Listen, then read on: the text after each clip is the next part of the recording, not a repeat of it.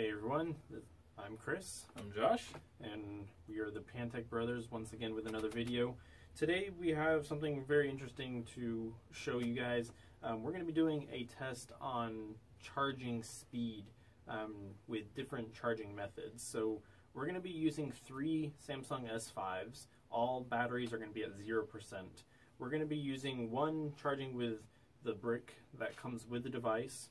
We're going to be using a Anker 40 watt 5 port with their Power IQ technology. And we're going to be also using a Choetech 5 port 90 watt um, Quick Charge 3.0 capable hub. So we're going to be using each of these. We're going to see sort of what charger um, will be able to produce the most amount of percentage in the battery over, we're going to use 30 minutes, um, and then we're going to kind of see how they work. How, how they work. Sounds interesting. Let's get to it. All right. All right, everybody, we are back with our charging challenge. Our Galaxy S5s are all depleted. They all have 0% battery power. We're going to go ahead and put batteries in each of these, set them down here.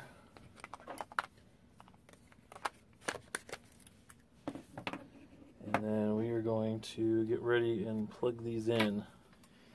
So uh, we are also using the same cable for all three of them. Which is the two prong Samsung S5 stock cable here for all three. Let's get these. So the, well, that's not plugging oh yeah, the flaps. That waterproofing. And all right. That one. So we are going. Okay. So we're going to plug these in and let them sit for 30 minutes and see how long or see how much battery these come into. Yeah, let's just plug them in more or less at the same time.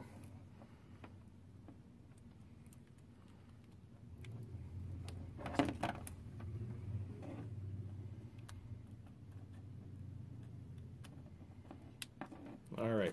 So again, we have the Choetech 5 port 90 watt hub on the right.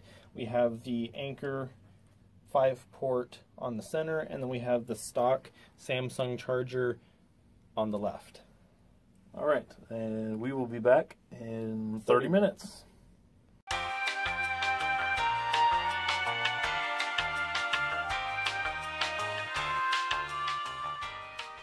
All right, so we are back. We're about 30 seconds away from the 30 minutes that we had planned to charge these three phones to see how much uh, they charged up within 30 minutes on each charger. We have the stock Samsung, we have the Anker, and the Choetech. So we got 10 seconds here, and then we're going to press the home buttons on all three of these and see what percentage they have all gotten to. All right, five, four, three, two, one, go. All right, there you have it. 39%, 38%, and 44%. So, the Choetech, by far, obviously, 45%. 45%. that's in half an hour. And 30 minutes. That's pretty good. Um, I'm impressed. That's pretty quick that'll definitely get you through, you know, pretty much half the day at that point. Especially if, the, again, these are turned off. So if it's turned on, it may not be as quick. Um, so keep that in mind. But again, this is on an S5, an older device that doesn't have um, as much as, I mean, battery, I'm not sure the milliamp hour of the battery in them either.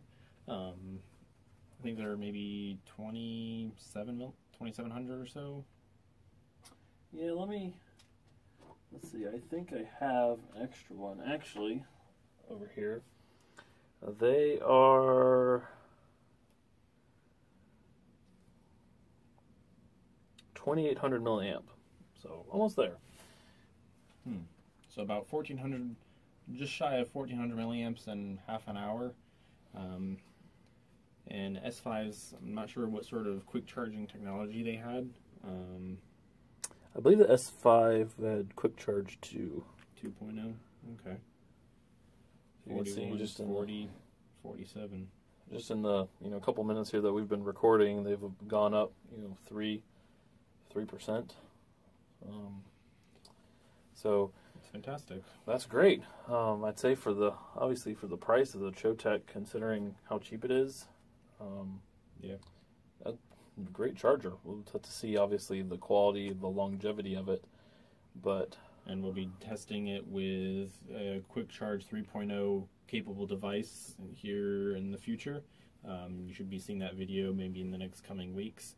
So stay tuned for that. And again, we appreciate you guys for watching and um, taking a look at our channel. Um, if you have any comments or uh, questions, please put them in the, the comments below. And uh, please like and subscribe, share our videos, and uh, hopefully we'll be doing some more videos very soon. We thank you guys, and we'll see you in the next one.